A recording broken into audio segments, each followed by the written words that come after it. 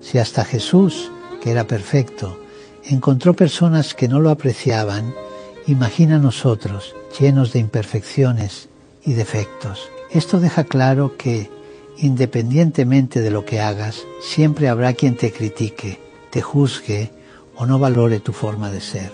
¿Y sabes qué significa esto? Que la aceptación de los demás no es lo más importante.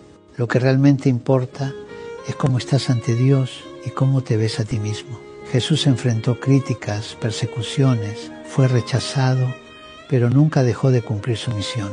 Él sabía que agradar a todos no era el objetivo, sino cumplir con la voluntad de Dios. Que esto sea una lección para nosotros. No pierdas tiempo buscando la aprobación de todos, porque eso nunca será posible. Enfócate en agradar a Dios y en ser la persona que Él te creó para ser. Si hasta Jesús, siendo perfecto, no agradó a todos, ¿por qué nosotros deberíamos preocuparnos por eso?